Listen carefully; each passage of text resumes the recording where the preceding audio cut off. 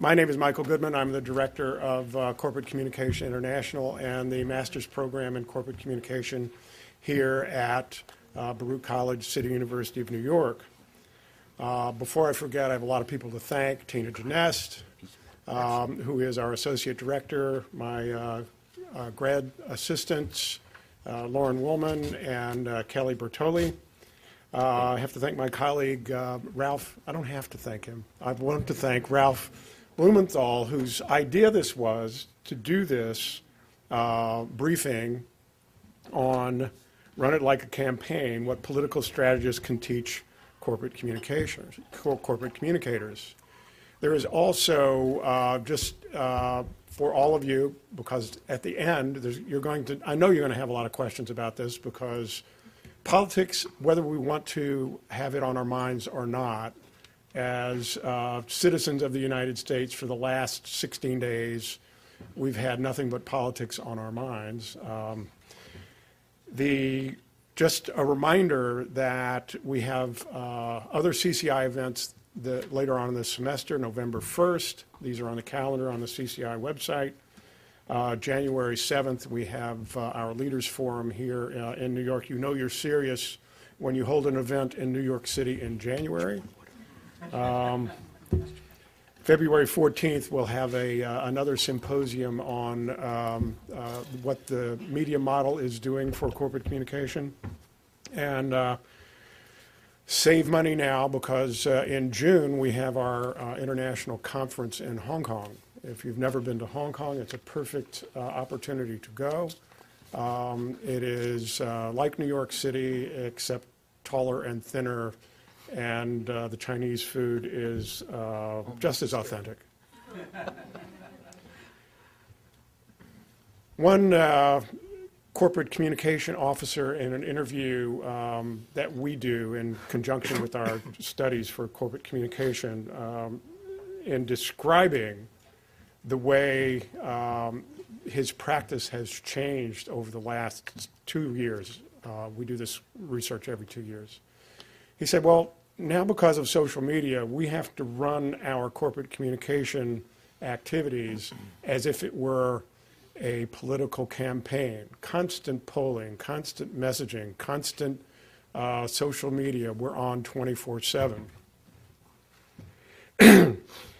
Well, that was before um, we, I think, uh, watched some of the, uh, the dark side of political campaigning.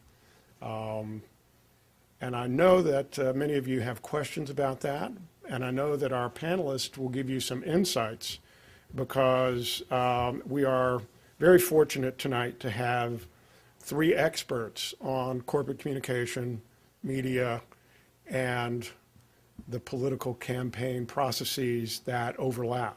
Uh, we're going to be led through this by uh, Stuart Goldstein, who is uh, on our board of advisors for uh, Corporate Communication International, Peter Peyser, who has uh, a practice um, in New York and Washington um, and has a political pedigree that uh, is, I would say, um, stunning and stellar. Uh, and George Arzt, who has been a journalist as well as a, um, uh, an active uh, spokesperson and uh, advisor for politicians. Uh, but I'm going to turn this program over to Stu Goldstein because he's the one that's going to lead us through this. So uh, Stu has come out of retirement. Uh, can never really retire. Um, and from from uh, decades, was it decades at the uh, uh, Depository Trust and Clearing Corporation, um, and he was going to lead us through the intricacies of the relationship between political campaigns, corporate communication, and what we can learn from each. Stu. Hey, I see an old friend coming in.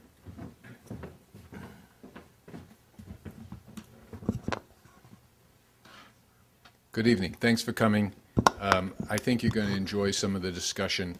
Um, You have really two very impressive folks on the panel here with uh, many years of experience, uh, both in politics and uh, consulting and advising uh, CEOs and, and corporations.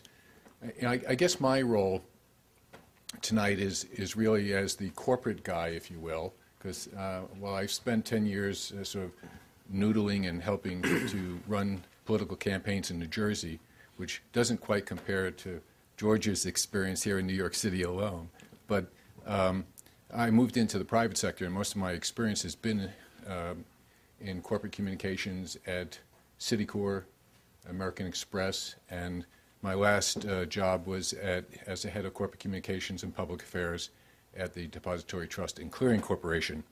Um, and normally, as my colleagues know, uh, heads of corporate communications last about three to five years in, in major companies. And, uh, and one CEO, I had the good fortune to last 20 years uh, with three CEOs. And I, I think my friend at JP Morgan Chase uh, probably beats me on that score, having done seven CEOs in 26 years. But, uh, but my role tonight is just going to try and bridge, because I, and Michael knows I've always been a very strong proponent of looking to politics and campaigns as a laboratory for the future of how corporate communications will be practiced. So for many of you who are in the audience who think about uh, you know, going into companies and, and playing these roles, uh, your understanding of strategy, and, and in some of the graduate classes I do with Michael, I always draw this, draw this uh, uh, diagram on the board. At one end is tactical, at one end is strategic, and sort of where you put the emphasis in your career is going to determine your success. And people are going to be looking for those individuals who think strategically, who think if P then Q, who can uh, think ahead. And I think the political world is a great training ground for learning some of those tactics and strategies. So I hope we'll, we'll talk about some of that uh, tonight. Uh, why is it so interesting and challenging? Uh, if you think about a, a political candidate, you're really essentially trying to sell an intangible asset. It's not toothpaste. It's not something you can judge by taste or smell or anything else. There's a lot of other things that come into it. Value systems come into it. A lot of your advertising is moving towards value-based advertising. And I'm sure George and, and Peter will have some stories about that. National political campaigns have also historically been a great place as a laboratory for new communication theory. And you've probably read in, in books, and you will hear tonight some, some war stories. Um, you know, in, in the Reagan days, Michael Deaver cornered the idea of a single message, and you just keep harping on single message, and eventually that message will get through. And that was a breakthrough in political campaigns and how communication theory might work. James Carville during the Clinton days, uh, you recall rapid response was the, was the issue, get, not letting a negative story get out in the media ahead of you. Uh, and you need to challenge it as it's being delivered, or else you're lost. You're coming behind, and you know your your response story will be on page six, and your your negative story may be on page one. So uh, these are things that really have taught pr professionals in the field of corporate communications, and and we look to some of these things as places to gain insight. more recently, micro targeting. Uh, social media, all these things that we hear about. And I, I don't look at social media as a strategy. It's a distribution methodology. Um, strategies come from other places, bright men like that are sitting up here at the table, and they'll share some of that with us. Um, so uh, we'll get into some of this applicability as we get into Q&A. But what I would ask all of you to do is don't sit here passively, because we're here to help you. So think about questions that you want to ask us throughout the session. Jot them down as we're talking. And I'd ask you to think about questions that focus on structure, strategy, and messaging. Because I think those are three areas where, from the political world, you can gain a lot of insight and ideas. What will be the new corporate communication strategy 10 years out? I don't know but someone in this room has it in their head. So that's what we're here to help you bring forward some of those ideas. So we're going to be talking about, we're going to ask George, the way we sort of agreed to uh, uh, break this up is we're going to ask George to talk a little bit about the most recent campaigns here in New York and insights that he can share with us and uh, some of the colorful war stories I hope he'll share with us.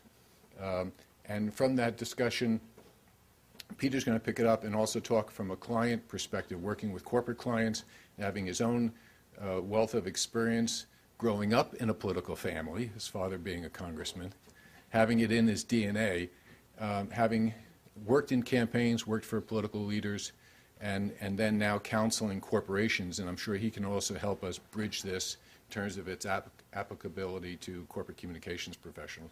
So with that said, are there any questions? No? As my poetry professor used to say, can you hear me? There's no questions, I'm not sure if the audience is listening. Uh, We'll dive in, and uh, we'll ask you to hold some questions, write them down, and then we'll get to a Q&A session, and we'll open up and have that interaction, I hope. All right? Thank you.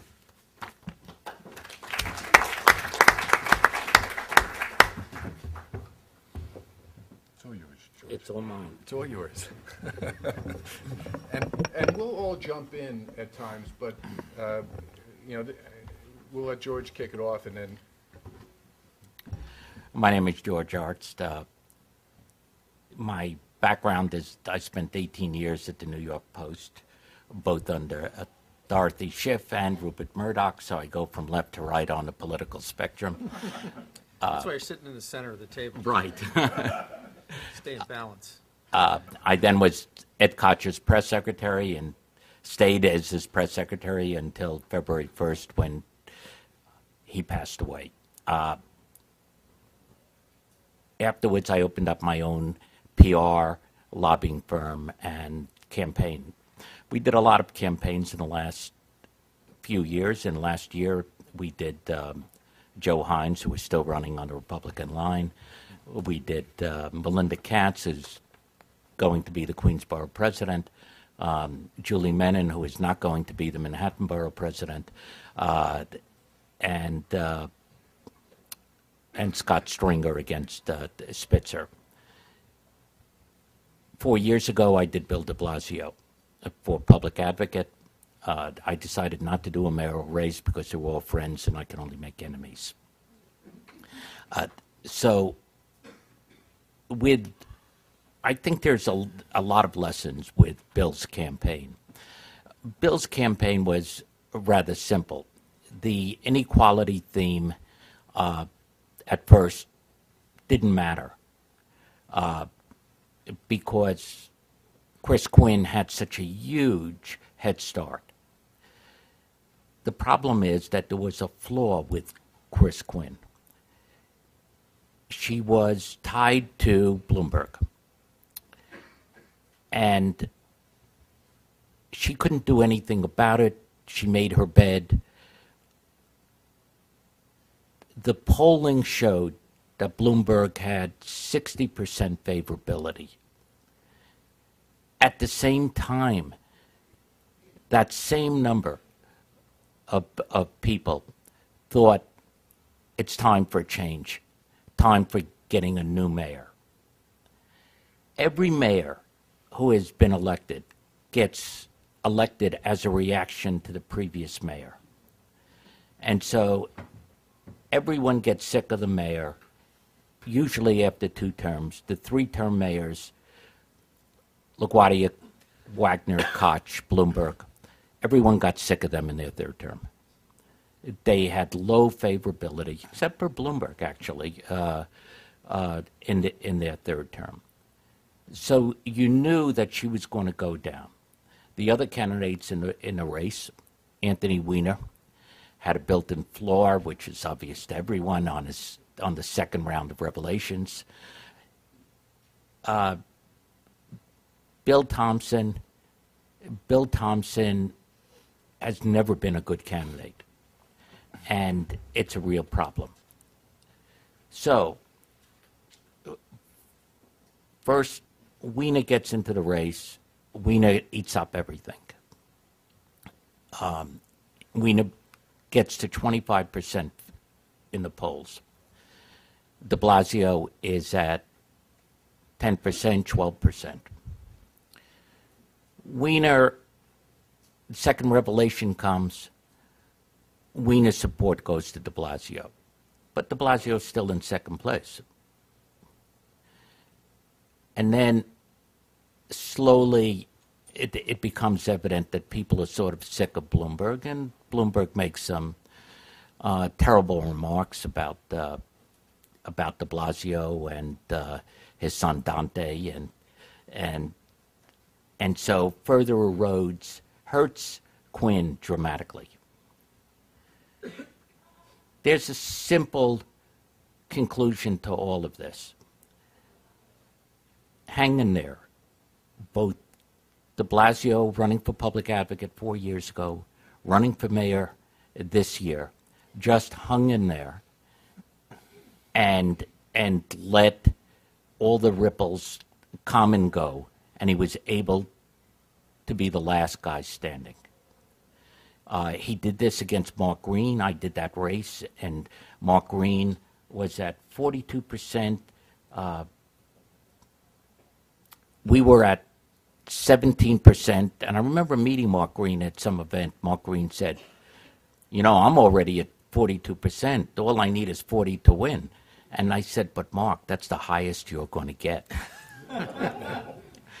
and you're, you're, you can only go down from here. And um, I generally had a caustic relationship with Mark over the years.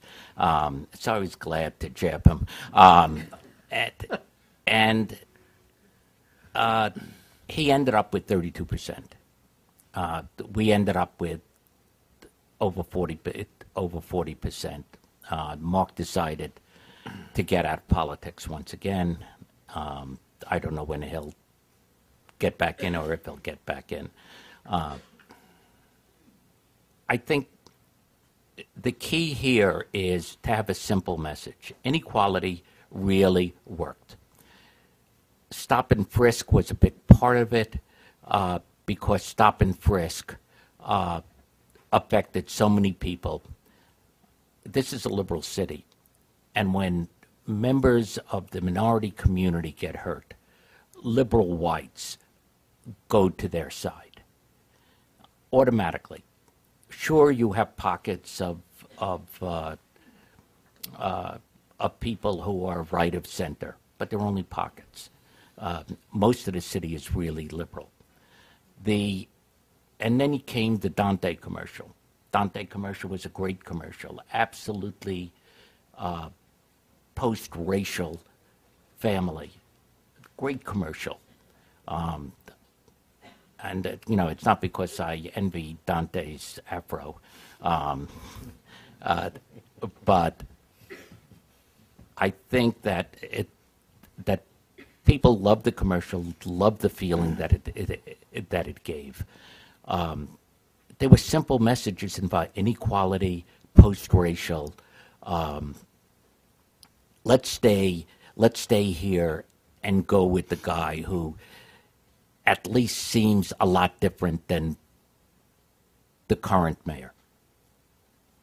And and he did it. What I didn't like about um, Bill's campaign was he relied heavily on negative. And I don't think that he needed to do that given the outside sources that were hitting Quinn. He would have won anyway. Her, uh, she could not have won. The fact that she came in third uh, showed where she was heading.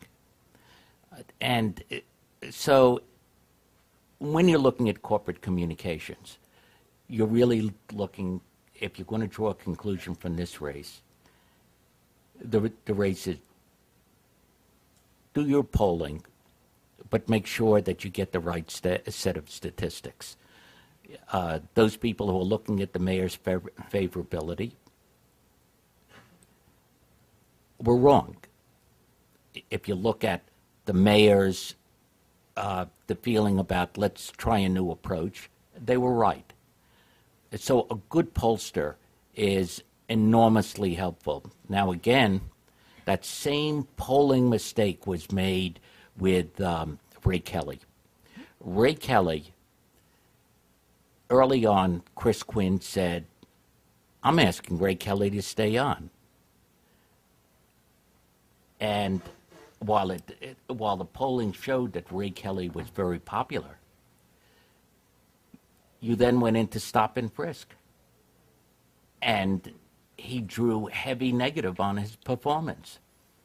And so she lost points there too. All around, she made bad errors in judgment. Was it her? No. Was her campaign. Um, she also decided to put out a book on her bulimia and alcoholism. Like, why?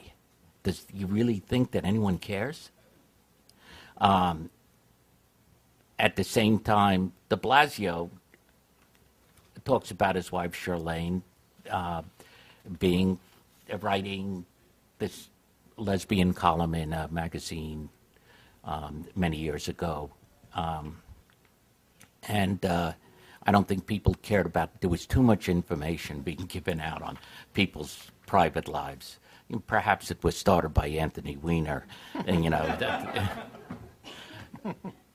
but in all these in in in all these campaigns less about your private life more about things that people out there want uh, pocketbook issues. What are the concerns of people? Equality inequality yes. Small businesses which bill uh, harped on uh, yes. Uh, police tactics yes. Bill had a perfect storm, and and that's why uh, Bill will win and be mayor.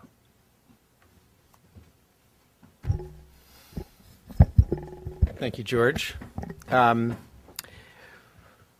Well, let me talk for a minute about sort of how I come at this and then try to wrap around some of what George said, and, and uh, I think that'll be a good springboard for going forward. So my name is Peter Peyser, and I, um, as Michael said, I grew up in a political family uh, here in New York. I grew up in Westchester. My father was a congressman from the Bronx and Westchester in the 1970s. I grew up in political campaigns uh, here in the New York area. Uh, then I uh, went to Washington, uh, intending to stay there for a couple of years, and it ended up being 35. Uh, on, over that time, having worked on Capitol Hill for members of Congress from New York, including Geraldine Ferraro, who I'll talk a little bit about in a, in a few moments, um, I then went to work for uh, Ed Koch in his uh, first term. Uh, I was in the mayor's office doing legislative affairs. Yeah, exactly. And in fact, I first met uh, Ed Koch in the 70s because uh, he and my father were colleagues in, in Washington, and and um, he uh, I used to pick pick them up at the airport when they flew up on the uh, Eastern Shuttle because the trains were so unreliable in those days. Um, and um, uh, we were heading back to Westchester, and Koch would always say, "Just drop me off at the 125th Street station. I, I don't need you to take me home. I'll just get on the subway," which you know tells you a lot about Ed Koch. He didn't need to be driven driven down to the village to uh, to go home. Uh, but um, so in Washington, I started in the Capitol Hill track and and then uh, worked in City Hall, worked in the mayor's uh, office, mostly in Washington, doing federal legislative affairs. And then for the last 30 years or so, I've had I've had a practice in lobbying and public affairs work. Um, and my clients have been an interesting mix of politicians, governors, mayors uh, from all over the country, and also corporate clients and nonprofits, all of whom are focused on uh, the Washington scene in terms of how government affects their state, their city, their business. Um, but because of the scope of what happens in Washington, that ends up coming back out to political campaigns and state issues. And uh, so I've had the opportunity working for uh, clients who are politicians to get involved in their campaigns as a message advisor uh, and sort of strategic advisor. Uh, and those campaigns have been here in the New York area, but they've also been on the West Coast in Washington State and in Pennsylvania, uh, where former Governor Ed Rendell, and who also was the mayor of Philadelphia, uh, was a um, uh, was a client and, and worked closely with him. And then when he became chair of the Democratic National Committee, worked on the 2000 cycle as a consultant to the DNC during the Gore Lieberman campaign. So I've sort of been in that world, uh, seeing how these pieces uh, fit together, and and it's interesting to me to talk about a lot of the similarities between corporate communications and political campaigns. I mean, there are, which we're going to do here tonight, but there are, are some important differences there uh, that are important, I think, to keep in mind. I mean, in a political campaign, you've got some differences to your typical corporate communications approach. I mean, a political campaign, there is a deadline, there is a D day. there isn't always one in the world of corporate communications. Sometimes there is on a project basis. You've got an IPO coming, you've got a major stockholder meeting where there's some news, you know, you have to prepare, you have to run a campaign around it. But it's, it's more on that targeted date. Uh, the goal of a, cor- of a political campaign is pretty self-evident. Uh, it's to win. Uh, defining victory in a corporate communications campaign can be a little trickier than that. Uh, so there's there's some differences there um, that that you know are are important you know to keep in mind. Um, and then CEO buy-in is often a problem in uh, the world of corporate communications. In political campaigns, not so much. Although I know some people in the Thompson campaign who wonder if they had CEO buy-in uh, throughout the campaign. Um, so uh, some differences, but the similarities are more important, uh, and and the learning that can go from one side to the other, I think, very important. I mean, number one. In both, you have to know what your product is. What is it that we're selling? For for a campaign, that political campaign, that can get to who is this person? You know, it's it's partly the personal story, but then it's also what are our programs? What are our issues? What's what's the content there? But there there are those both of those pieces to that. George talked a little bit about how some of the candidates did on that and how how some maybe didn't do so well.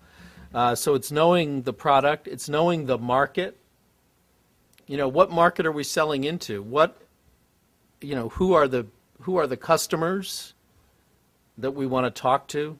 What are they interested in? What do they care about?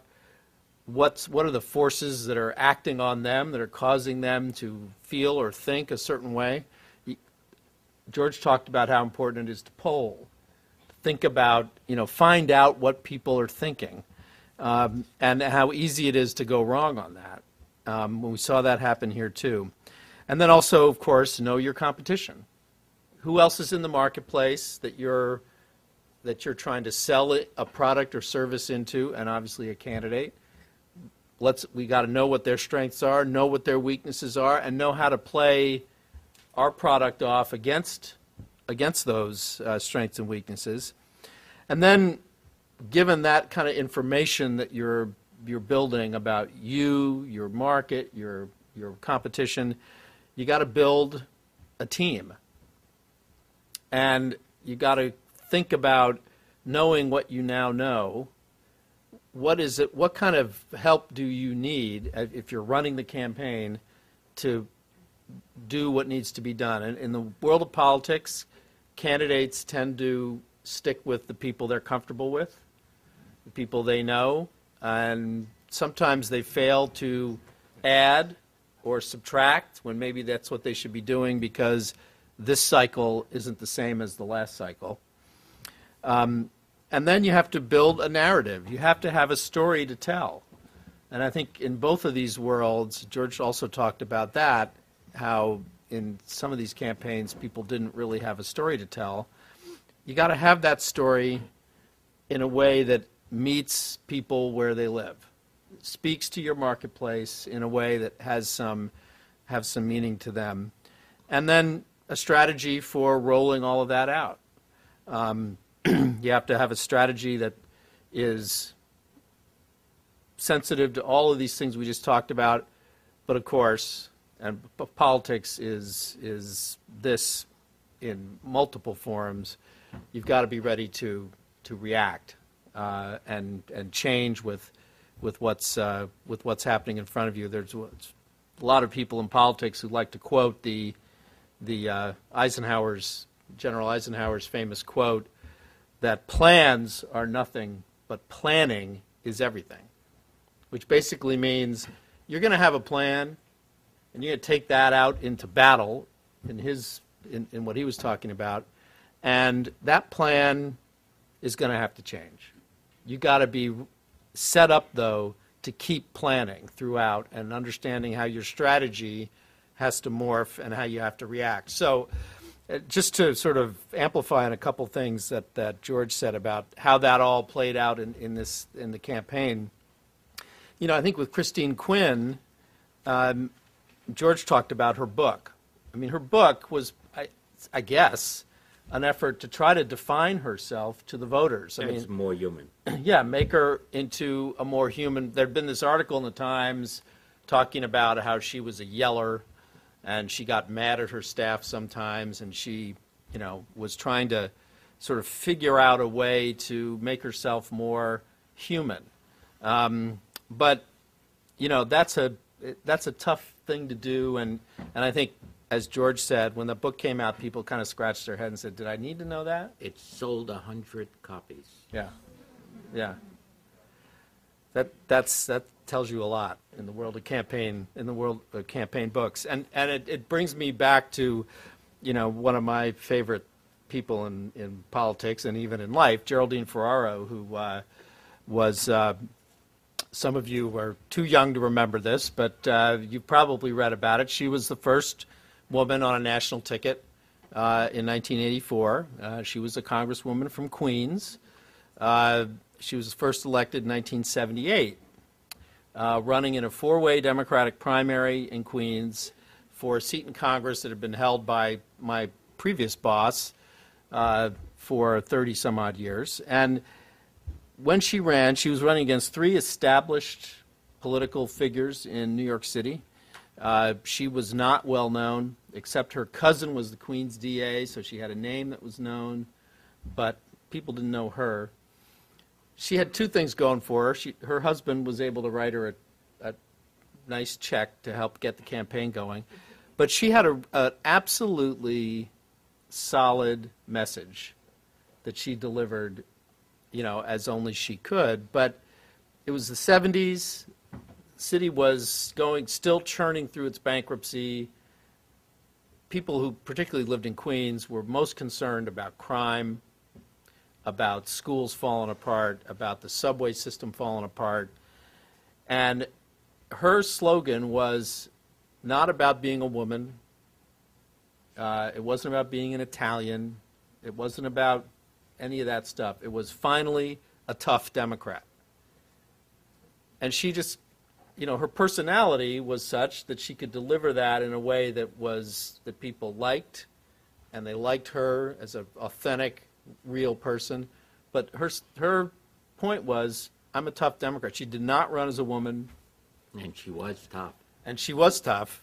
And I worked for her, so I can testify to that. Uh, but uh, you know, she she knew who she was, and she was able to tell people who she was in one sentence. Christine Quinn could never, never do that. Um, and, and I think she had trouble also identifying the marketplace she was selling into. Like, what was, you know, in politics, you kind of start with what's my base? You know, what, how was she going to target the women's vote? Is there a way to target the women's vote? Is there a way to play that? Uh, she never unlocked the code on that, and she lost the women's vote. Uh, in, even in the LGBT community, um, she had a very rough time. Uh, you know, uh, my friends in that world uh, sort of did the minimum, but just couldn't get really comfortable and enthusiastic. And, and I think it's it showed that you know she had some real real issues in how to play to her base there, and how do you handle that issue. And it's still not a, an easy thing to do, even in New York City New York City politics. She also had four advisors running the campaign. You can't have that. Right, right. And, and so it's like someone going to each, uh, she would go to each advisor to hear what she wanted to hear. Yeah. So in that building your team part of it, she didn't do it. You know, she didn't have a clear message. I mean, the other, uh, the other campaign that I sort of followed the most closely here was the Thompson campaign, because I had some friends working in that campaign at high levels, and, you know, he was sort of the other favorite. I mean, if, th- through a lot of the run-up in this thing, people said, you know, it's going to be Quinn and Thompson in the runoff. Right. He- I mean, Thompson's like a lock to make the runoff. Why? Because when you look at the way that New York City politics sort of historically goes, you know, it, he was sort of doing identity politics. You know, the African American, the only African American candidate in the race, uh, a strong history in Brooklyn, and and strong ties from his own career and his father's career with the Jewish community in Brooklyn. So he can put those pieces together. He's got the outer, outer borough strength. You know, he might be able to make a bridge into the Hispanic community. You know, so you can sort of put together the pieces, and, and his campaign was convinced and, and, and as the candidate, pretty laid back about how this was all going to unfold. They were very sure that they'd kind of checked off all the boxes. They knew how this is going to go. They know where the votes are going to come from. And after the um, primary, I saw my a friend of mine who's very uh, senior in the campaign. I said, "So?" And he said, "Well, you know, our polling was completely wrong." And and and it was the, really, I think, what George said that you know they were looking at the Bloomberg numbers and thinking, okay, we're gonna we're gonna sort of walk that line between you know we're not Bloomberg, but we're not going to go that far away from where Bloomberg has been because he's popular, and they missed that sort of the Bloomberg sort of conundrum there that favorability. I mean, and unlike you know Ed Koch, who didn't really have favorability going for him in the third term, Bloomberg had favorability, but people still wanted the change, and that I think the Thompson people kind of missed that. It, it is sort of unheard of that Thompson would lose the black vote with the only black candidate running, and he lost the black vote to de Blasio. It, it, it's really Stunning. hard to believe. Yeah. And and he it, partly it's because uh, also he didn't. What was his message? You know, he sort of fumbled the stop and frisk thing, Yes. uh, and and De Blasio had a better, stronger message on that than than Thompson did. Um, and and and I think the Dante ad was a huge a huge boon there for in terms of the sort of how De Blasio made that entree into the into the African American community. Um, so I think I'm going to wrap up because I know you guys want to get to questions. I'll, I'll just say one thing about Anthony Weiner's campaign that to me it was the most interesting part of it, and, and it and it made me think about because you got to talk about the Anthony Weiner campaign, but one of the most interesting things about it to me, watching him go up in the polls like almost instantaneously into front runner status, to me it sort of felt like what it really told me was it felt a little bit like I think the Republicans felt in 2008 when they had a front runner in Mitt Romney that the primary voters were really not comfortable with. And every two weeks there was another person who ran up the charts. I mean, and some of them pretty ridiculous Right. that they ran up the charts. But why did that happen? Because the primary voters in that race and in this race here this year just weren't that settled on the front runners. I mean, Christine Quinn was still polling okay, but they were ready to try on anybody else. And that just showed you the weakness in, in the front runners' campaigns. It- Weakness in the entire field. Yeah, and the whole field. No, nobody saw that. And, and so the difference between this and the 2008 Republican presidential campaign is that, at least in Romney, there was a something of a safe haven that people finally went to. But Christine Quinn, in particular, didn't provide that safe haven to the voters. So, um, so very, you know, the, the thing, and just to drive home the last point that George made too, I think. I mean, the reason De Blasio came through this is he had a message, he hung in there with it, it, he stuck with it. It was very simple. I mean, the Tale of Two Cities thing, people grabbed that. They just grabbed it. It fit with people's percep- perceptions. So he understood his market. He had a narrative for the market. And, uh, on- and on Stop and Frisk, he was consistent, strong and consistent, and that's, people want that too. So, and I think those are all things that when you're, any kind of communications campaign you're designing, all of that helps make it successful. It, it's interesting that Tale of Two Cities did not work for Freddie Ferrer when he used it. Um, and here it, it worked. Perhaps it's because Freddie was a minority and, and, and, and Bill is not. Bill is sort of uh, biracial in a sense, a biracial family. Um, but John Del Cecato, who is one of uh, was one of Freddie's aides years ago, worked on this campaign and did the Dante commercial, and and uh, and they went ahead with Tale of Two Cities, even though it was a proven failure, and it it succeeded. It's a, it's very interesting. Okay, so let's uh, move over and talk a little bit about corporate communications and the lessons we can learn. Um, I I would just add a few comments. Um, Certainly, we've touched on the idea that how research is used in campaigns. And as And misuse. and misused. And as much as we, we tend to think that that's an obvious, um, I, I can tell you, and my colleagues uh, who are in corporate life can tell you that, you know, research is rarely used on a regular basis in corporate communications in major companies today. In a crisis, it's the go-to item in terms of perception research, polling. There's only a handful of companies in the United States that do overnight polling and oftentimes it's driven around crisis. So the lessons from campaigns can really help us in the corporate communications field because, you know, years ago, when research, when corporate communications and advertising were much closer joined, um, you know, you had access to the research. Now the advertising is over on one side under marketing, and the corporate communications folks in many companies are now starting to try and pull back that research capability uh, whether it's focus groups or, or all that stuff is, you know, even in terms of how you think about the process of corporate communications, your engagement with media is a research tool. It's not just, you know, you, the, the misnomer here, and campaigns are very distinct in this. You know, Peter said it, it's about winning. Um, that's a, an attitude that really can be adopted in the corporate communications world because it's not about communicating a message. It's about shaping an outcome. And if you start from that, and that's, I think, one of the lessons from the political side, if you start from that, you, the way you think about the process is going to be totally different than I've done my part.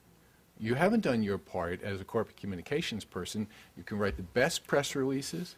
You know, I, I mean, employee communications is here, external communications are here. How do most leaks occur in companies? Is because no one in the external world has been looking at the internal world, and someone writes something and it leaks out of the company. So that wouldn't happen in a campaign. There are processes and procedures, and the, the way a campaign works, it's a lot more integrated and team, where the way a corporate communications environment works is much more hierarchical. So there are things, when I talked about structure and strategy and message, if you think about, and that's what I'm hoping you can get some questions around tonight, uh, how campaigns do these things. Now, corporations are distinct, and, and Peter alluded to some of the, uh, the constraints in a corporate environment that a corporate communications professional has.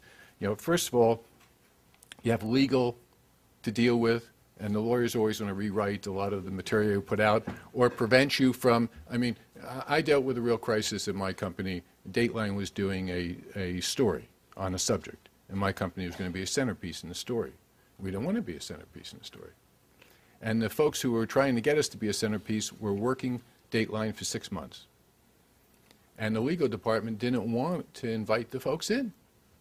And it took me about two weeks to get the CEO to agree with me, and we brought Dateline in. We spent two weeks with them, and the story went from 45 minutes to 15 minutes. We weren't in the story. So engagement, uh, but you, you know, you have legal to deal with, you have regulatory issues to deal with, which are somewhat distinct and different in, in a corporate environment than a campaign. There's probably other things that we could cite tonight, but there's a lot of things that campaigns do that actually are beneficial in terms of the cohesiveness, the team, the sense of what is the story, uh, not only knowing what, as Peter alluded to, you know, what others are, are, you know, what your competition is doing, but understanding how you're perceived out of the gate, because oftentimes companies don't have a sense of that, and whether or not the entire senior team is unified in terms of how they think about an issue, and they're all on the same page. Campaign has a has a strategy and a theme, and it's hammered away. A corporation isn't. You find very distinct messages, and if you don't have policies that control who speaks to the press, you'll find different messages in the press. So there's a lot of things that we can learn from the campaign side that I think is important. Um, Peter alluded to the one big challenge in a corporation distinct from a campaign. In the campaign, if you have the trust of the candidate, you're golden. In, in, uh, in a corporate environment, you really need to have access to the C-suite executives. You need to have the trust of the C-suite executives. And you need to be able to articulate to them all of the if P then Q scenarios that are in your head as the likely outcome of a strategy you're advancing. If you can't do that when you go in, you know, in a campaign, the team evolves that and then they roll it out. In a corporation, it's you. You're the strategist on the external affairs side. It's you or the government relations person. And if you fail, then it's Peter Peyser who comes in to tell the CEO how the thing might be done. And you're lucky that you have a Peter Peyser to help you do that, or a George to do that. But it's something that you, as a professional, need to evolve in terms of sense of your own on, on how to execute uh, like a campaign. And one last thing I'd just comment, someone alluded to the talent that you have on board, even the way you think about structuring. Most corporate communications department, uh, as I said, are hierarchical. They're not built as a cohesive kind of amoeba team like a campaign where people can switch roles and move wherever the requirements are, meet whatever expectations the sen- senior guys are, are throwing at you or the external environment are throwing at you. That's a campaign-like structure. There's only a few places in corporate America where these departments are becoming more like that. It requires a whole different staffing mentality. You know, you can't have junior people handling very senior things. You need to have senior people thinking through all the if P then Qs. Then you need to hire that so you have that kind of staffing capability, like a campaign does. Anyway, let's move into some questions from the audience. And here's some microphones, but I'm happy to jump up and, and run around and get you to talk. But we we want to ask, have you ask the, the panel some questions. Do we have someone volunteering? Okay. We want to have some of you ask some questions around the things we've discussed, insights that you'd like to get from the campaigns as it applies to you and your career.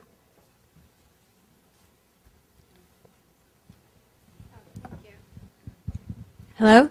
Um, I was hoping you could speak a little bit about the Citizens United ruling because you hear there's a situation where corporations are coming into politics and trying to advertise, um, and how this is affecting campaigns that are supposed to be independent of those corporate advertisements, and how it's affecting corporations that are either trying to get a voice in politics or who don't want to be associated with politics at all and find it uh, will affect how the public views them. So, thank you.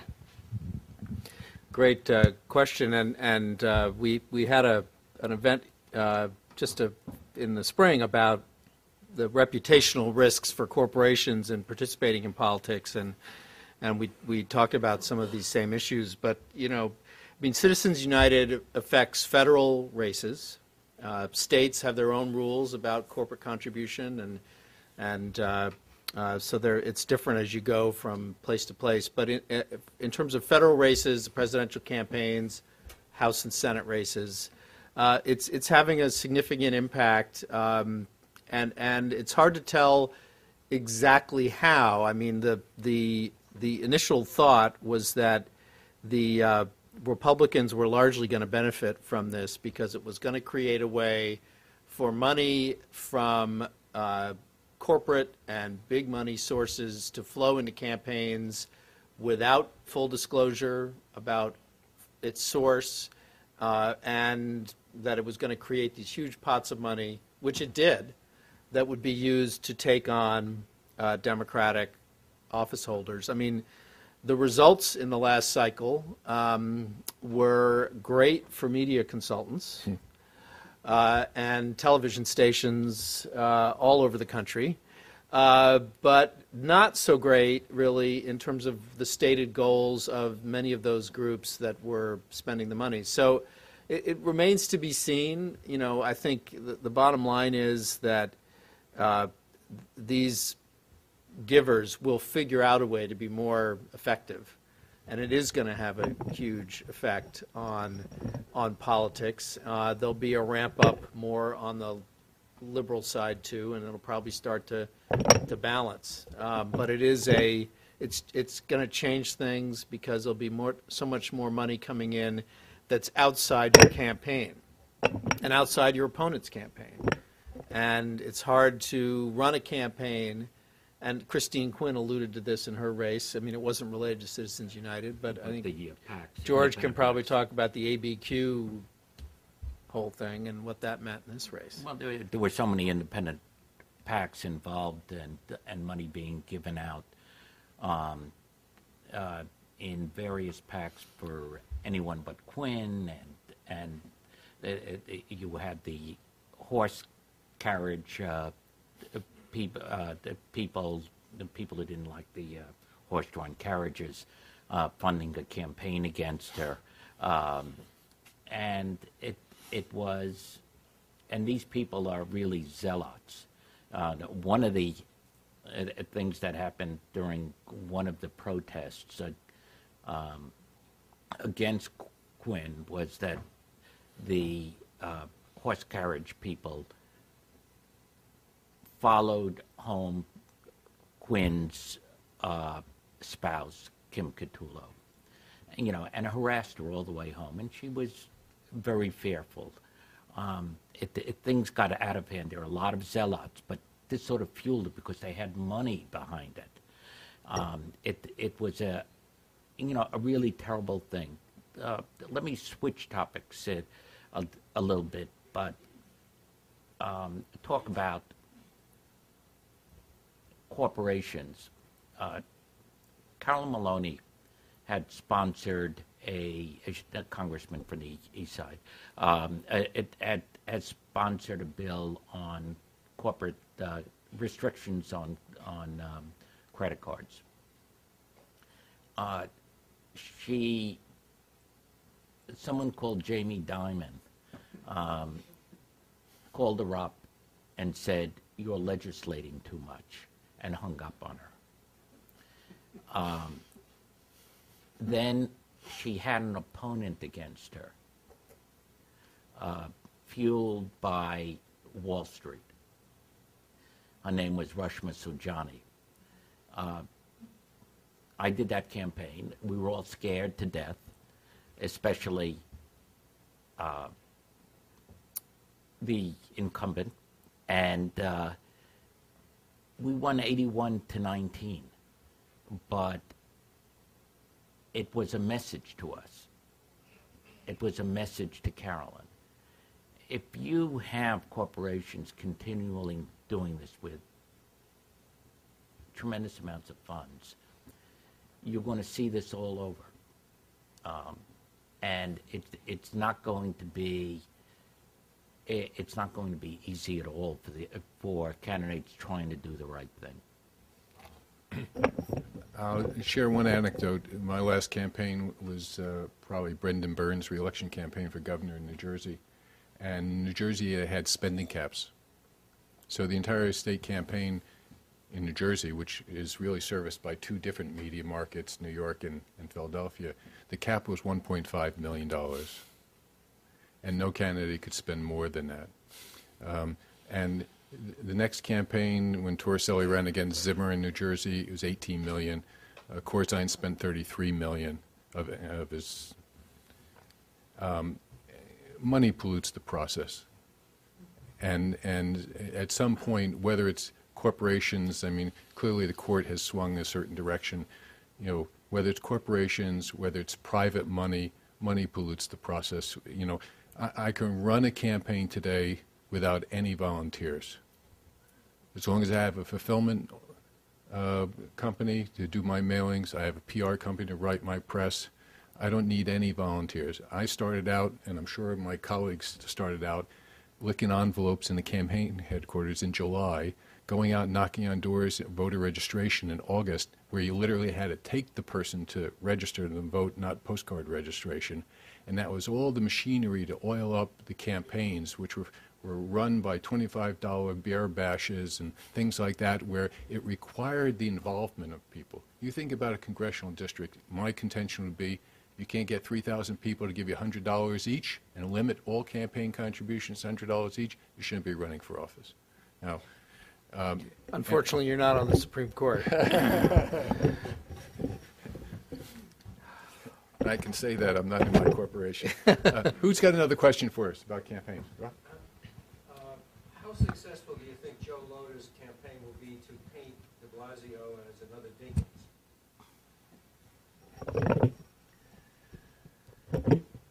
I love Joe as a human being.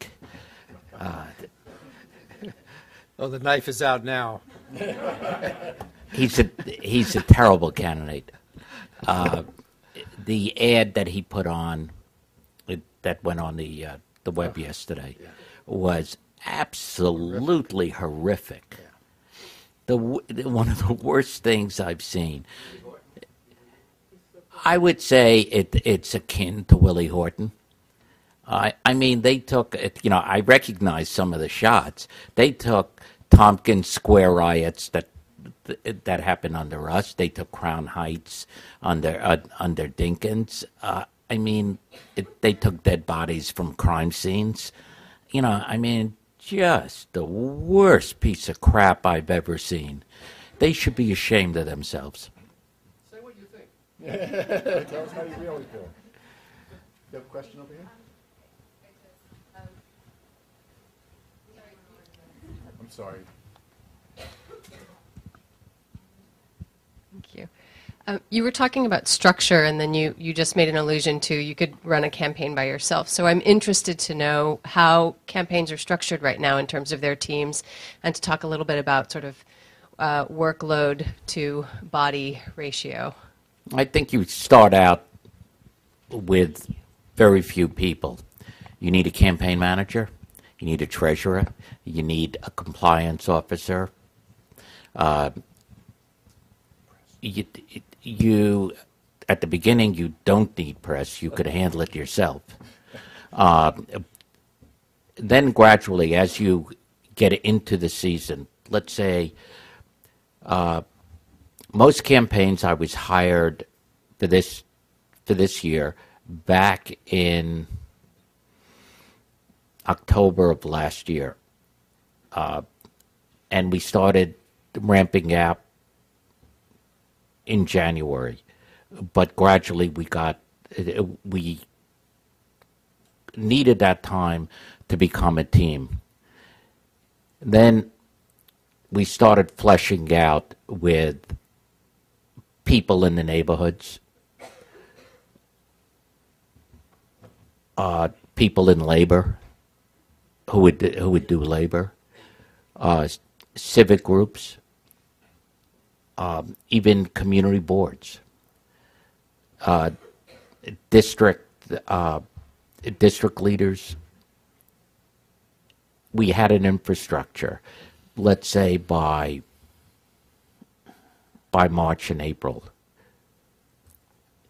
Don't forget the primary is it is September, so you don't want to carry that many people to uh, you know too early, you know, and then you're you're ramping up. Let's really let's say in July and August, and you're getting your volunteers ready and you're hoping that your message by this time has gained some traction to get your volunteers going, to inspire some people. You know, it, it, it's it's a lot of money, no matter what race you're running, even in a, a local council race. Just to uh, add to George's, you know, you have a small nucleus, and then you have, uh, through the volunteerism, the citizens' operations, you know, the interest groups, that builds out the, the machinery, if you will, the, but you're not paying those people. So you have, you have tons more people, but you have a core nucleus of folks. In the same way, like a corporation, the corporate communications departments over the last, I don't know, seven, eight years, Steve? I mean, they've been shrinking. So That's what I was thinking, right, is that you really have this, these very small teams who have to, who have to do a lot and make sure they're doing the right thing. So I'll give you an example. When I had the opportunity that- to first run the whole operation, first thing I started doing is uh, only hiring more senior level people because I figured I would be capped by the management in terms of how many staff I would have. So I had 11 directors. I would say eight of them had 20, 25 years' experience. And so they had done everything from media to marketing to internal to external to speech writing so that they could move like a campaign moves to whate- wherever the, the demand was by the, we had seven or eight different companies that we were supporting, wherever that requirement was. If there was a joint venture, the, you know, we could uh, detail three people away from their business for a week and do the whole, you know, sort of merger communications program. So like a campaign, that's really where it, it started from. It, it's, um, um, you know you're going to have a finite number of people and what kind of resources you're going to need. And I guess the follow-up question someone may ask me then is, how does a young person get into the business? And, and I think that is indeed a challenge in terms of, you know, their writing, whether they can write like a journalist, because all the corporate writing today is journalistic writing. You know, the CEO wants to get in the first two paragraphs, so don't bother me. And, and uh, so do they have some political campaign experience? Again, so you're thinking the if P then Q way and not just, oh, we got a request from somebody, we have to send a response. I mean, it's a whole different atmosphere. So you have to find young people who are coming along in their careers. It's not exclusive that they've been out 20 years, but they can be out three years, they can be out five years. It's intellectual horsepower that you're looking for, creativity, and where they think outside the box. Question in the back?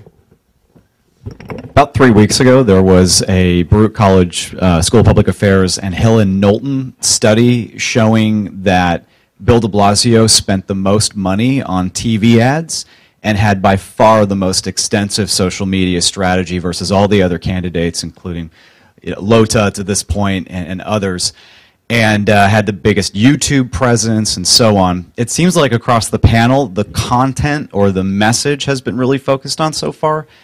But doesn't this sort of lead, th- those findings lead to the conclusion that the, concentrating on the media is probably more important than the message? I don't think that's that's true. I think um, Bill had a terrific campaign. There, it, it, there is no doubt about it. Um, I've long thought that mail, direct mail, and robocalls are hideous. That, that I hate robocalls, uh, and I think that going directly to the voters is a much better way to do things and using social media very quickly um, and smartly is is much better. If I get a hit on on Twitter, I know that uh, City and State and uh, Capital New York now and now Politico um, will be picking things up.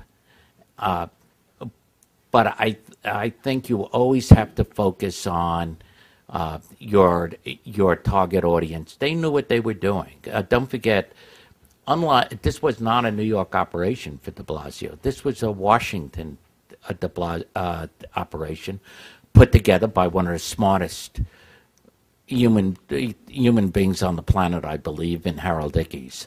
Um, it, the Harold, it, you know, if I was in a trench warfare, I, I would hope that uh, I'd be in the same trench as Harold to have my back. Um, and he he put together this Washington group of people, and it it was much different than anything we've seen up here. Just, just to follow on to that, I mean, one of the first hires they made was a social media person from the Obama campaign. Um, who helped build the platform that you're talking about. And, but you know, to me, that's part of the foundational work in the campaigns now. Um, and it's still important, you know, you're building a platform for your message to travel on. And it's still, having the message is still, you know, crucial uh, to, to making that work. I mean, you can, if, if you have the platform without the message, it's not going to work. And I think that was, I mean, I think that's kind of the point we're making about the, uh, the, the way the de Blasio message cut through everything else. It cut through the advantages of the other candidates, uh, about their traditional sort of approach to ethnic and demographic voting in New York City, or you know, powers of incumbency, or whatever you want to call it. You know, it cut through, and I think that's really that's really key. But I mean, it is the team building. getting back to the earlier question, is different now and I think it's um, you know it's evolving in the political space probably faster around the social media and the new ways of getting out the um, the message, um, and it's sort of you know a, a it's it's a it's it's a sort of flow an opposite flow from you know the early days of political advertising and the use of television for political advertising, which came out of the corporate world came out of Madison Avenue, you know, sort of developed concepts that have been developed for corporate advertising came into the political world for television. And now it's social media is sort of pushing that back the other way. I think politics is showing the corporate world a lot about how social media, you know, works. The, the, the only thing I would add is, is you always have to think about context, and I'll speak from the corporate side. And, and because the social media will get the message out quickly.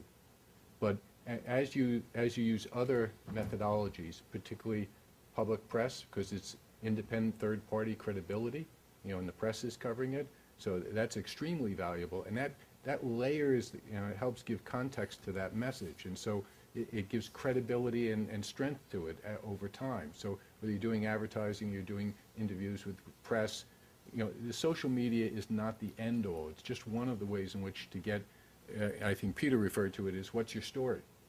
And you need to have a story, whether you're a corporation or a campaign. It needs to be more than just, you know, I mean, look at the offenders, you know, BP or Goldman for, you know, in the last three years. I mean, what's the story? I mean, they're still placing ads, they're still using social media, but they don't really have a contextual story that holds together well and that is value driven. And I think that's a big change in the last 10 years is that if you watch advertising, increasingly it's more values driven in terms of what's important to you on the outside world than what's important to the company.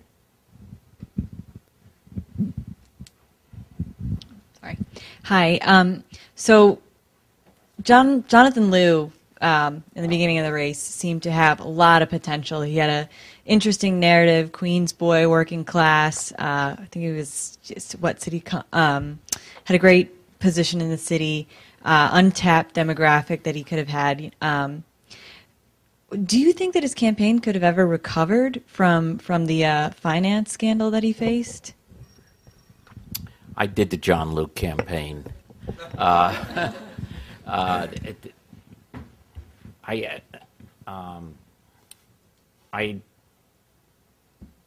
elected him, he asked me to come back to handle the, the crisis. I thought I was coming back for one month because, like I said, I didn't really want to do a mayoral race. But it stretched out to eight months, and I finally said, I saw the 2013 looming, and I thought, you know, I really don't want to be here. And so in August of last year, I, I left. There is no doubt that John would have been a top contender if not for uh, if if if not for the uh, so-called scandal. I believe that there were a lot of elements to the scandal. You know, it wasn't that one day the New York Times woke up and said, "Oh, I'm doing this story." Um, I believe that there were many hands in it. I won't mention which public official I think is. They tried to get uh, John, but uh, he's very wealthy, um, and and uh, and and John was a John probably had more minority support, more black support than Billy Thompson going in. Uh, black leaders, black union leaders loved him. And he just couldn't overcome what the Times did and what the U.S. Attorney, you know, the U.S. Attorney, you know, it's one thing, the, the Oliver Pan stuff was interesting because it was a sting operation where the, where an undercover FBI guy, you know, went to Oliver Pan and, I, you know, and Oliver Pan said, do you really want to do this? And the FBI guy says, yeah, you know, and Oliver Pan, you know, pays him for uh, 16 straw donors. Uh, I don't think that uh, Jenny Hou uh, really is guilty of uh, of anything, and I think that it was an injustice what happened to her, especially for a 20, uh, 23 year old girl who was put in that position of being treasurer and she didn't know her way around. She didn't know what was going on. You know, you're going to make a hardened criminal out of her, you know, and be tainted for the rest of her life. I, you know, I thought was ridiculous. But there were a lot of things behind the scenes that the public never understood. And um, I don't know. I hope that John continues in some way. Um, he is still enormously popular in the um, Asian community.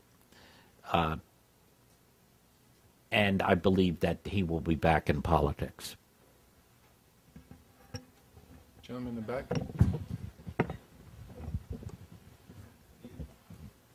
Curious how you handle a particular, um, whether it's a candidate or corporate communicator at the upper levels of, of management, for example. You've done the research, you have good information, um, but for some reason the individual is not presenting the message to, let's say, the shareholders or the public um, very well. In other words, there are speakers who are just absolutely horrific and they need a heck of a lot of coaching and no matter what you do either they are unable to adjust or they just don't listen versus others who are incredible chameleons. They could literally talk a vulture off a carcass okay? So how do you deal with the very difficult um, let's say executive or political candidate? You've got a great package and how do you make that adjustment to make them effective?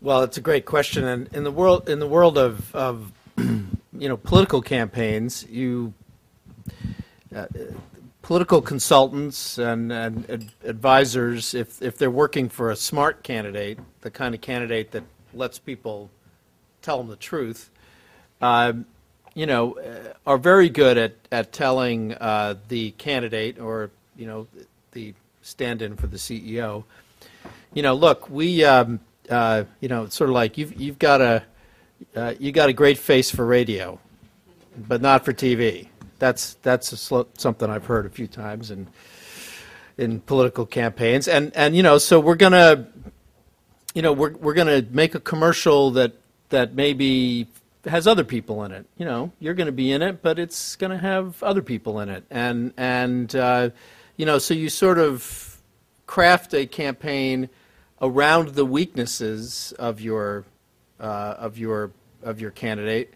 Um, you know when you when you need to, or you try. I, I, one of my favorite stories about uh, you know trying to sort of take a candidate's qualities and maybe fuzz them up a little bit.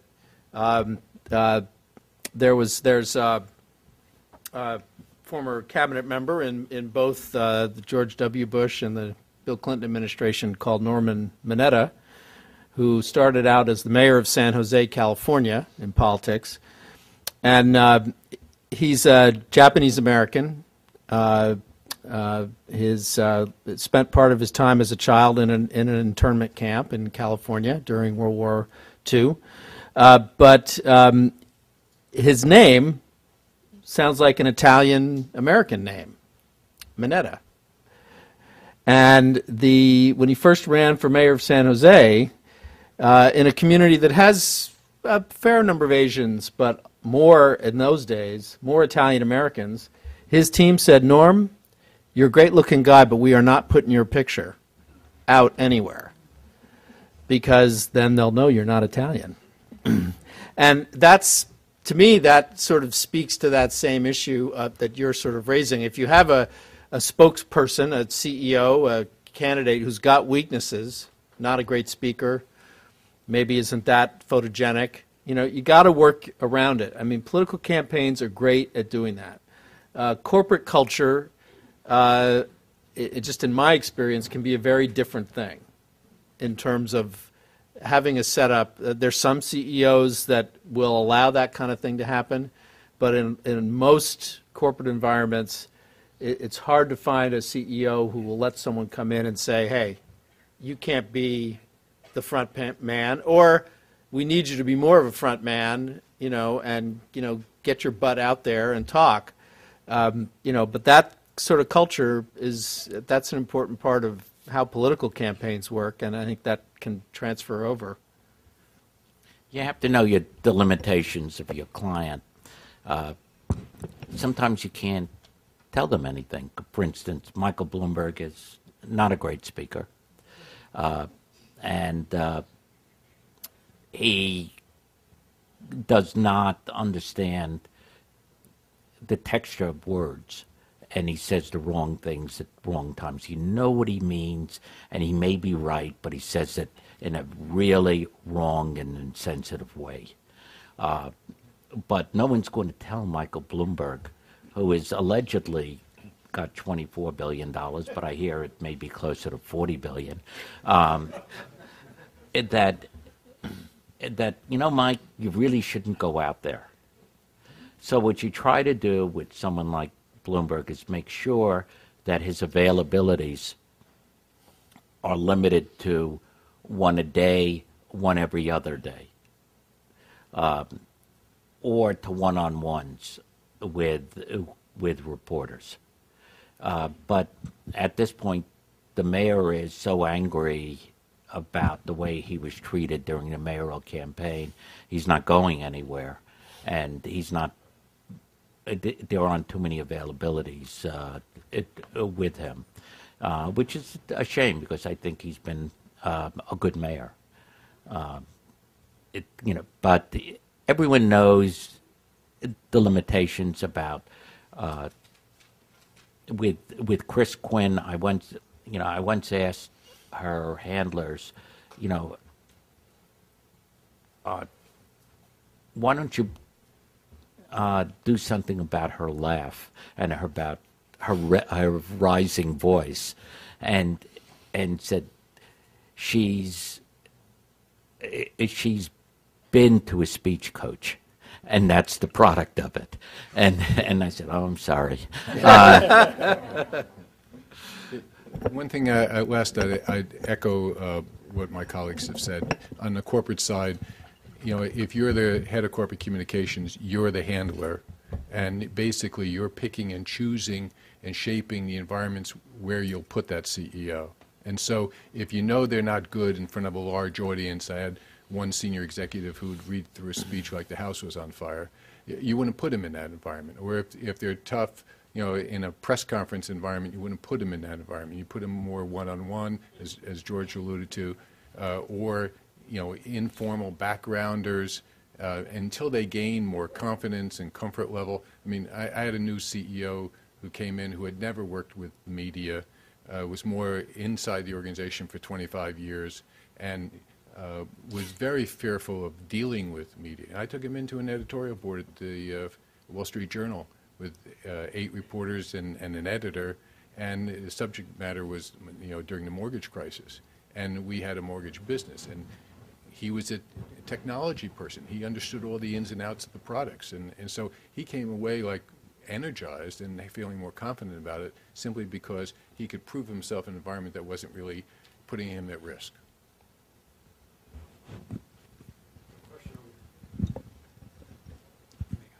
Okay. I have, um, I guess, the predictions question, which is 2016. Who is it and why? But from a corporate communications perspective, um, for the winner, what's the strategy? Hmm. Interesting.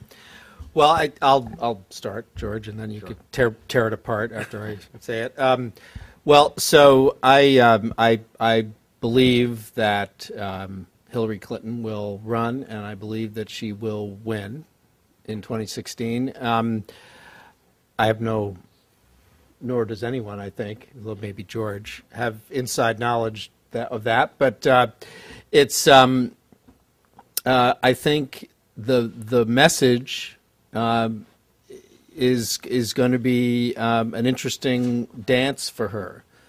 Uh, she's going to be following the president that she worked for, um, and who gave her a job that enabled her to burnish her image and really change a lot of people's perception of her uh, in a very positive direction. And um, but she's going to have to be run. There's going to be a little bit of this same dance that Christine Quinn was unsuccessful at doing. Uh, not that she was like a deputy mayor, but she in some ways kind of was in the public mind. Yeah, and uh, so for Hillary Clinton, it's a little tricky, but I think the message is going to be. Um, it's kind of like the Geraldine Ferraro message, a tough Democrat.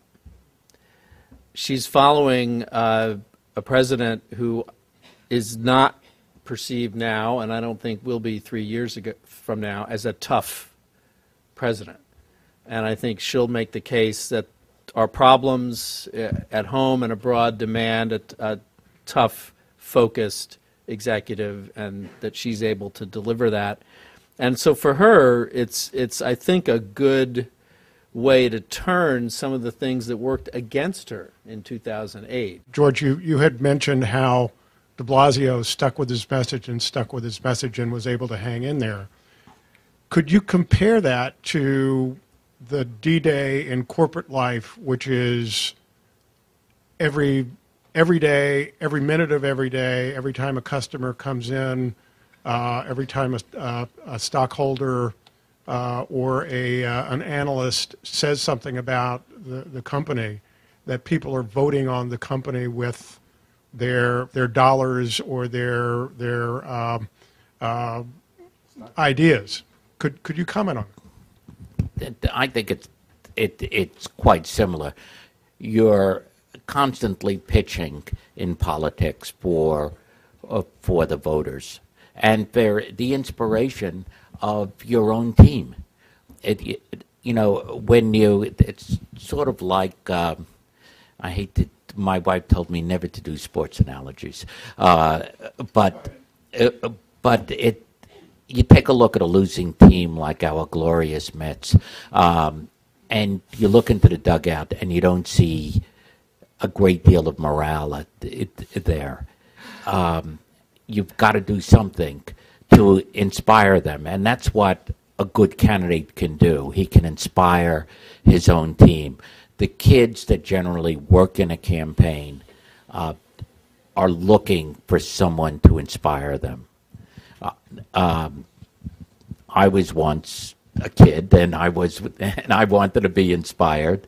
Uh, you know, I, I, remember going up in a in a car when I was uh, a reporter with uh, every four years we used to do the gubernatorial campaign, and we used to go around in in a, in a car, and uh, uh, in upstate New York, and uh, I remember once one of the older reporters and two of the older reporters in the in, in the group, one a colleague of Ralph's. Uh, Franklin and and the other one Dick Zander of Newsday, you know, started talking about all my life I've been trying I was I've been looking for a father figure.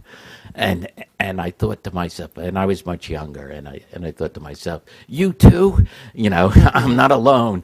Uh, it, it's really important to in, inspire your own team before you can inspire out it, it you know out out there. Um, corporations daily um, have to inspire their own team, and they have to and and they have to pitch their uh, uh, their products to to uh, the general audience out out there. Um, I do a lot of lobbying for corporations, and on Tuesday I'm going to Landmarks for a building project, and we have to tell the Landmarks Preservation Commission, you know, gee, this is a great project. You know, it, it, you have to do something, and that is our dead. That is our deadline. But we've been to community boards. We've been to see elected officials. Um, so there are constant deadlines coming up, and you know, I don't think corporations. Um, it, it, it, that is not a uh, difference between a, a, between the corporate world and the political world. Constantly, you have deadlines on both on both sides, and and the political world, the deadline is is not uh, is not election day the deadlines are raising money every quarter and trying to inspire those people to give you more and hitting them up for a second and third time. Um, and, it, you know, so every time you have to be out there and you have to be on and your message has to be right. They're very similar. I, I do think the challenge that I've seen from my friends who work in corporate communications is is which is different from what's in the political world, is building a sustainable, ongoing corporate communications function uh, that is always there and recognizing that there are there's an underlying uh, uh, need every day to have that capability. Um, you know, corporate. I've worked with corporations, and, and typically it's when they hire people like us is when they have their, a project-driven thing in front of them. It's a project. Maybe they're making an acquisition, or maybe they're they're building a, a facility, uh, or whatever, and they say, "Oh, we gotta we gotta beef up our communications team around this," um, uh, or there's um, a crisis uh, which comes at them from left field, and they have to instantly staff up around that and, and deal with it. Uh, the challenge in a lot of corporations is how do you drive home the point in the executive suite that the capabilities that come into play for a big project or a crisis yes, they have to be amplified and, and expanded when, when a crisis hits, but we always have to have a certain sustainable program going. Uh, and I think that's a real challenge. I mean, because it's a, it's a place where cost cutting, you know, come, seems to come easy to a lot of corporations and because they don't get it. Michael, you know, when you have millions of dollars of share price at risk. Uh, anything that comes over the transom it is like a campaign in the corporate communications department because, you know, as they said, it, you can come out of left field, but you have a finite amount of time within which to shape the outcome of what's going to be in the press the next day, what's going to be in the media that night, and that's going to affect share price. And and so uh, you, you don't have you know three months. That's you know a little different than a campaign to to re I mean, you look at Obama after the first debate to reshape it. Um, in the corporate environment, you know, you have, you're at risk every day in a significant way, and in a measurable way. This young lady has had her hand up for a long time. I just want to.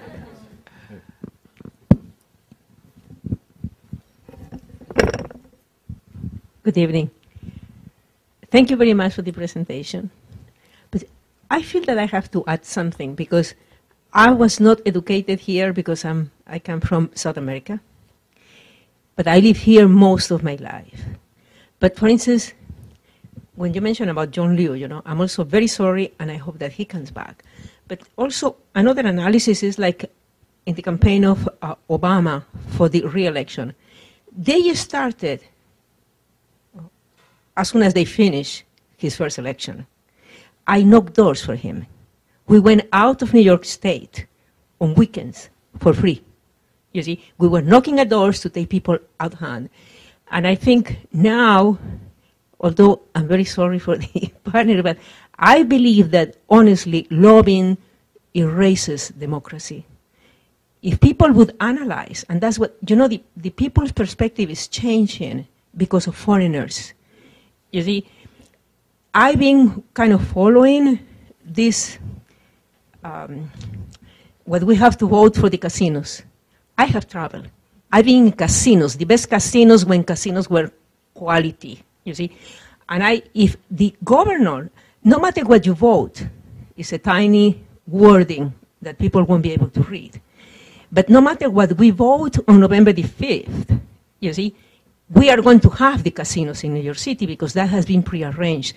And at the beginning, um, if you read all his proposal, it, it said that the casino owners won't be able to um, give donations, con make contributions to the political campaigns. If you read it tonight, it disappeared, that paragraph. You see? But people here are not, are not educated enough to really be well informed. My proposal would be, because I've been there since I was young, go to Santiago de Chile, Valparaíso in Chile, and in Chile, in order to enter a casino, you have to show your passport, showing that you're a tourist, or show your income tax, where you show that you are wealthy. Because otherwise, people who play the lottery and people who play in the casinos are the working class, because they exploit the dream of the misery in here. You see, and I campaign for Cuomo, you know, for, um, for the governor. But I completely against that. But now, probably, and I hope, you know, that when lobbies and whatever it is, you know, people who are campaigning deal with the better educated people. I talk to people, go to vote and vote for this. People just don't realize who Lhota is. Mm-hmm. You see? So but that's, uh, I appreciate what you're saying, but, you know, Obama won because they worked on his campaign when he won the first election. And then, uh, for instance, the other example is John Liu. I'm very sorry for him, but the people who were supposed to vote for him couldn't support him because of that. Yeah, okay. We're going to have, I, I know you want a closing. Ralph is going to come. Ralph gets to uh, Okay. tell us what happened. Uh-oh. Can, can I just can I respond just for one second though? There was a lot in your what you just said, but I, I, one kernel of that that I think is important to what we've been talking about. You know, you you said that that uh, the sort of the themes running through that were lobbying, lobbyists, and money in politics are distorting democracy. Um, and uh, as someone who is and has been a lobbyist for 30 some odd years, I, I you know, I, I will say that uh, the role of lobbyists is not to distort democracy. It's to represent the interest and, and to say that it's represent the interests of anybody can hire a lobbyist. I mean, I have worked for corporations, I've worked for nonprofits, I've worked for mayors, governors, you know, on all kinds of things. I like to think that almost all of what I've done has been in the public good, but other people might not. Um, but to say that lobbyists are thwarting democracy or killing democracy is like saying lawyers are killing justice. Because they walk into a courtroom and they advocate in front of a judge, either as a prosecutor or as a defender. So I think it's the real issue is uh, money in politics, and can we throw open the doors, turn a light on, and let people see what's happening? That's the key. You know, there's always going to be people going to politicians with their problems, using people like me and George to help them do that. That, that goes back, you know, before our democracy, certainly. And it's actually, you know, in the Constitution, in the First Amendment, you know, it says the right of people to redress their grievances shall not be abridged. So that's a fact of life. What shouldn't be a fact of life is the way the money comes in unseen, unaccounted for. You don't know who gave it. And unfortunately, the Supreme Court has said that's okay. I mean, that's, that's, a, big, that's a big problem. Thank you all for your attention and your insights. Uh, My name is Ralph Blumenthal. I'm a distinguished lecturer here at Baruch, um, and I teach journalism, and my career was at the New York Times. Uh, So I took a lot of notes. Uh, I thought I might write a story when this is all over. Um, I just want to say, first of all, that um, when we started the planning for this forum uh, a few months ago, the uh, election landscape looked entirely different. Uh, Christine Quinn was the front runner. Uh, Weiner was uh, barely being considered. Uh, it was a large Republican field, a guy named Katz. Bill de Blasio was in the cellar. Um, and what a difference a few months makes. I mean, it's amazing. So, um, uh, George started out talking about a lot of lessons of Bill's campaign. Uh, it was a perfect storm for him. And I would observe uh, editorially that um, a, a tall white guy married to a black ex lesbian with an interracial kid looks like New York. And I think that's the message that came out. Uh, so I think that's, that's his big success. Um, um, very interesting observation that Bloomberg uh, had 60% favorability rating uh, which would seem to uh, suggest people should identify with him, but a 60, 60% of the people also thought uh, it was time for a change. Uh, and it's interesting, George said every mayor is a reaction to the last mayor, and I'm thinking how uh, Giuliani swept in on the heels of Dinkins. And very interesting. Um, and, and I guess Ed Koch swept in on the heels of Abe Beame. All true. Um, and Abe Beame swept in on the heels of John Lindsay and the, uh, the, the snowstorm in Queens. Um, single uh, lesson is hang in there. Uh, you may be in the cellar one day, but you never know when things are going to change very quickly when Anthony Weiner will send off another sext, and uh, suddenly uh, you'll, be, you'll be it. Uh, key is to have a simple message, which de Blasio does. inequality, that seems to be the tenor of the times, and having a billionaire mayor might have been a great selling point at one point, but people are ready for a change. Um, uh, the city is really liberal, interesting observation. Yes, but we had a lot of, not a lot, but several important Republican mayors, Bloomberg, Giuliani, and Lindsay. So the city will go with a, uh, a Republican uh, upon occasion with the right uh, set of circumstances. Uh, get the right set of statistics, uh, go- going back to that favorability rating for Bloomberg, um, Quinn's uh, era in identifying with Ray Kelly, who was considering a run for mayor on his own, as we remember, how stop and frisk suddenly blew up as a big issue, um, and um, how uh, Quinn misread things by coming out with her own biography, which supposedly would make her more human, but didn't seem to work. By the way, I don't know how many of you saw the New York Times uh, video of Christine Quinn. Uh, she opened her, her campaign to the New York Times to follow her around uh, to document what she was sure would be her victory. And um, of course, she couldn't change it once the campaign started to go south. But there's an amazing moment there where she's watching the results come in. It's, it's clear she lost, and it's very painful to watch. It's like, I mean, she's basically naked in front of the camera. Uh, so um, it was just another example how she misread things. I don't think she would have agreed to that access if she'd known what was ahead for her. Uh, important rules, uh, both in the corporate world and um, uh, politics. Know your product. Who is the person you're selling? Uh, know the market. Who are the customers? Uh, what are people thinking? know your competition. build a team. build a narrative, a story to tell and uh, have a strategy uh, and be ready to react. Um, uh, let's see.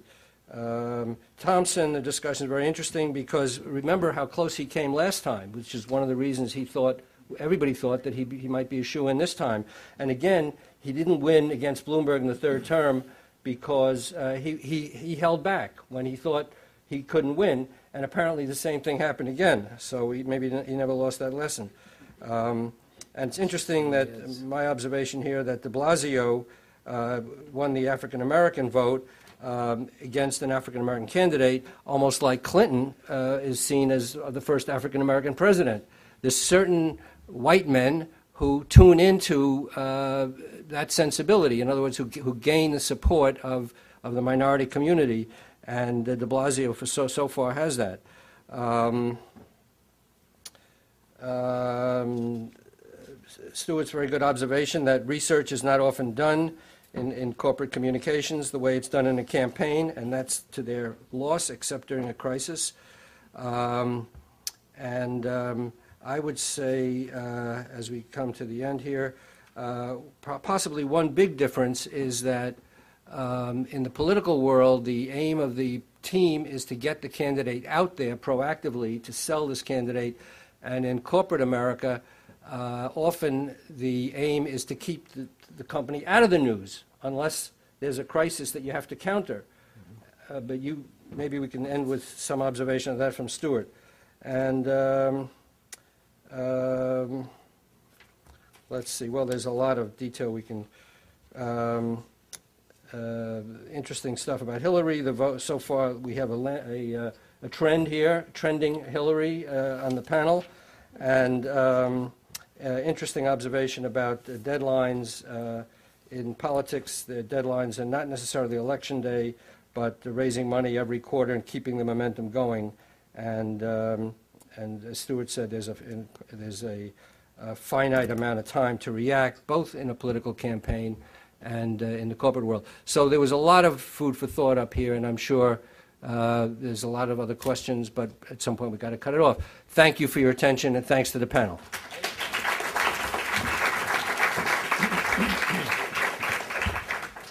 As, as, only an investigative reporter can do. Thank you, Ralph, for uh, bringing it all together and putting it all in focus. I want to give our panel members uh, the opportunity to have the last words, and we'll start with uh, Peter on, uh, on the right or on the left, depending on where your point of view is. Yeah, I guess I'm, I'm on your right. Um, well, I, I appreciate uh, the opportunity to be here, uh, and it, it's a learning experience to sit next to, to George uh, who's uh, seen more uh, in, in, New York political life than any person probably should be allowed to see. Uh, but we're benefiting from from uh, from that, um, and uh, it's it's really useful, I think, for for me to have had the opportunity to to hear the questions and and think about the issues that we had to think about to prepare for this. you know, I think the the world of corporate communications uh, is is very much uh, a, a, an opportunity, uh, and particularly for those of you who are studying this field and preparing to launch your careers in this field. Uh, there are a lot of opportunities, which is another way of saying there are a lot of challenges.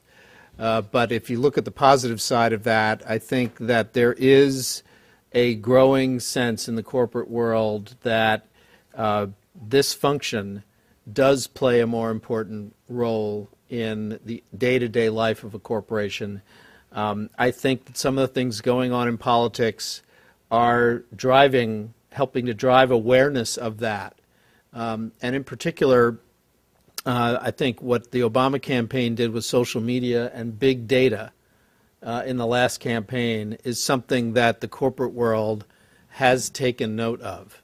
Uh, and I think that that made drive an awareness of the importance of communicating with your various audiences that will allow that function to grow. And sometimes technology leads us in interesting directions, but it should create some opportunities to bring some of this discipline in, uh, maybe around that technology, but use that as a sort of a Trojan horse to get in there and, and build some of the disciplines that we've talked about tonight uh, around that. So I, I salute you for your interest in, in doing that. Uh, corporate America needs you to do that, uh, and um, thanks for giving us the chance to be here. I want to thank my my colleagues on the on the panel, Peter and and Stuart, uh, uh, and and also I want to thank you guys because I think you're a great audience and and uh, very good questions. Um, I think the main thing that I'd like to say is that we need young people to come in and be engaged in politics and and to do the right thing.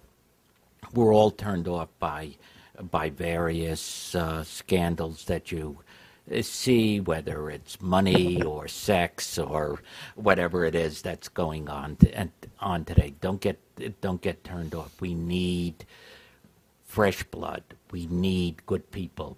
Um, communications uh, is a field that is a great field, both in, in politics and in in the corporate life. You need people who understand, who are engaged, who know what's going on, and that's why it's so it it's so crucial that it that you remain um, involved in in politics in corporate in corporate life. Uh, you know, I would like to mention one one closing thing. It it's noteworthy that the three major papers in this town all went for Chris Quinn, uh, and they it, these are people who are supposed to have um, their finger on the pulse. And the New York Times editorial, um, I don't want to malign the New York Times because I know it's near and dear, uh, but New York Times editorial started out with a paragraph on how great Mayor Bloomberg was. And they didn't understand they were sealing the fate of, of uh, his candidate, Chris Quinn and it it's funny how boardrooms how boardrooms are, uh, but there was a dichotomy at the New York Times. The reporters were for De Blasio. The editorial board was for uh, Chris, and you know they felt that because of the Chinese wall between them, that they couldn't really uh, talk to e- each other. But but the editorial board was aware of the building uh, feeling about the about De Blasio, but discounted it. Um, and that's one of the lessons. You just can't be uh, cast a blind eye uh, in politics or in corporate life. You've got to know what's going on all the time. Uh, Rupert Murdoch used to tell us when I was briefly in television to go outside and find out what the man in the street was thinking. We used to laugh, but he was right. We used to do MOSs, man in the street interviews, just for just so we could uh, answer Murdoch's questions. And and I think you always have to have your finger on the pulse in this business. And you know, and and that's extremely important. Thank you. I'll uh, echo and thank everybody for coming. Um, I, think in the corporate world, uh, two thirds of uh, my work with media uh, never shows up in print. And uh, part of it is to give context to reporters, to help reporters understand the bigger picture, not necessarily trying to sell uh, my company's point of view or a particular message that we have, but to give them context uh, reporters need that. Uh, when I coach uh, graduate students and undergraduate students, I usually encourage them, first job out should either be in a campaign or campaigns, uh, or working for a couple of years as a journalist. I started out uh, writing for the Trenton Times while I was still in college. I worked in campaigns for 10 years. Uh, when I sat at 55 Water Street downtown near Wall Street And I would ask myself sometimes, I have colleagues, uh, 10, 11 of them work for me. The distinction between them and me was the insights I gained from the political world um, and the experience of understanding journalists and working with journalists and having those insights and being able to apply them. So uh, that's, that's the last message I'd leave you with, and good luck to you all.